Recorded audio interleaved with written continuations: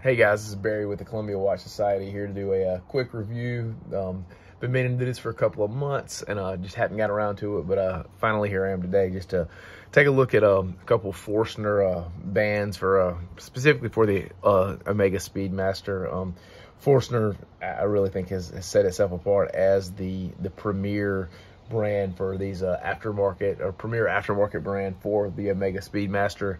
Um, I originally got probably a couple years ago now got the uh, the JB Mesh uh, bracelet, the, the one the uh, the the NASA original remake um, that uh, Neil Armstrong and Buzz Aldrin wore. Um, they walked on the moon, um, which was again just a fantastic uh, bracelet. Um, I think I have a video out there. I'm pretty sure it's out there on our channel.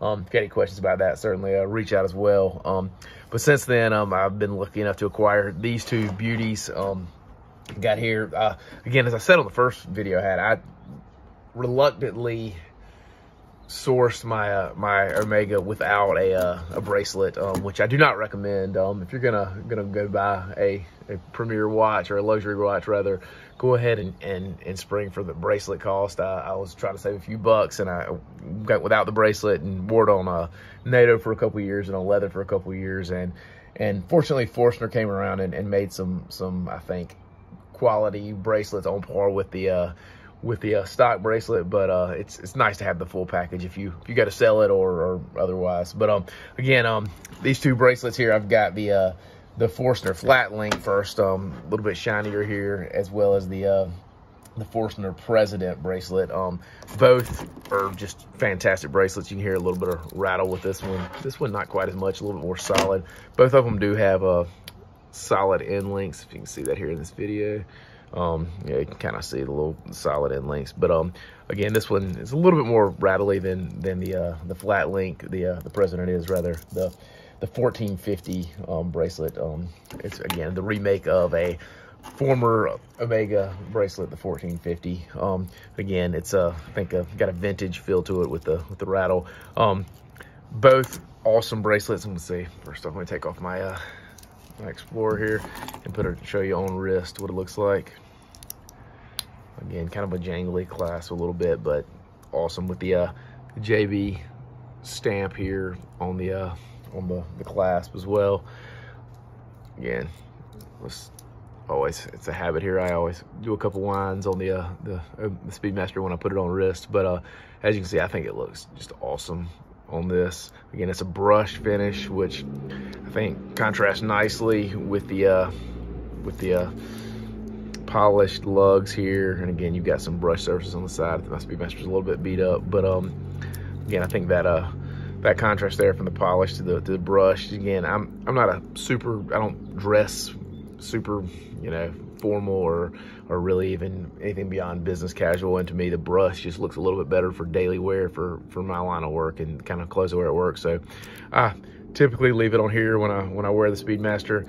Another cool feature of, of this bracelet that's not on the flat link, which you look at, it's actually got, let's see if it's on this side, I believe. That's a little stretch there, um, which makes it super comfortable.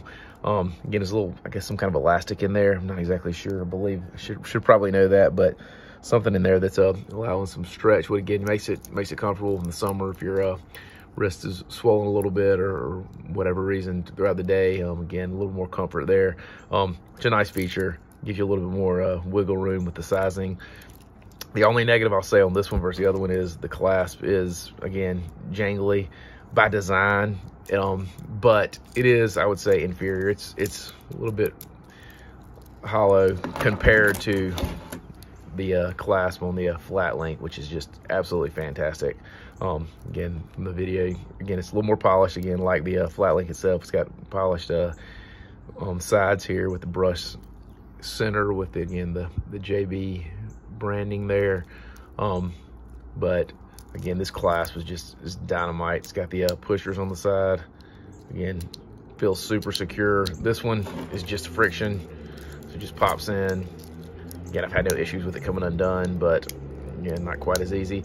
You would think when I put it on, I'm always nervous it's gonna pinch me, but it never has. So take that for what it's worth. Again, here looking at the flat link, again, you can see it's it's definitely a, a fancier fancy, I guess that's the right word.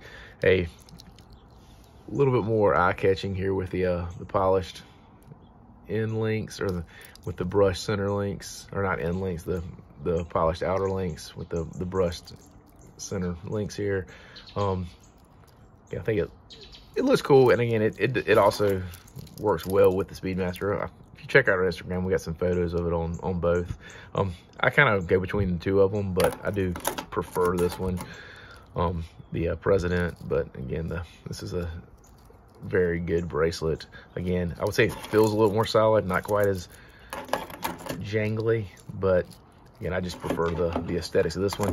I have seen you can buy, I believe on their website, I believe you can buy the clasps, and I know some people have actually replaced or wearing this bracelet with this clasp. I believe that's an option. You can you can purchase it separately. Um, if I was only gonna do one, that's probably what I would recommend is go with this bracelet with this clasp. Again, you kind of get the best of both worlds there. Again, with the box here, this is one of the boxes here. Nice packaging, same as the uh, the mesh, but nice packaging.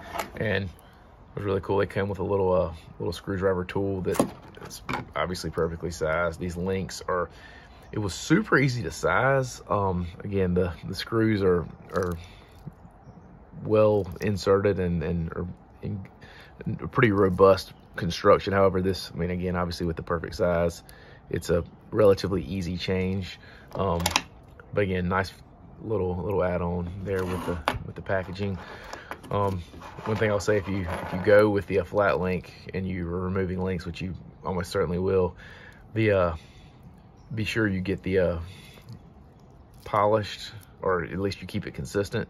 Um, if you because there's the other side, the inner side is brushed, which now that I think about it, I, I guess you could go all brushed with the flat link and just uh, flip all these around. Which hey, maybe I'll try that again I think, again, I don't prefer the polish, but if I can get the brush look, maybe I'll, I'll try that out. It's gonna be a little bit of work, but uh, not too not too bad, I don't think. Again, these, these screws are pretty easy to, to remove.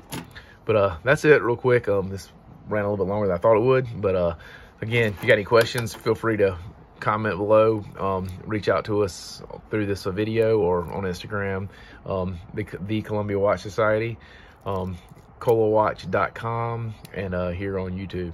But again, uh, if you like this content, please uh, hit follow. Um, we'll, we'll, continue to put more stuff out. But uh, hope you guys are, are, having a good one and uh, love to hear from you. Thanks.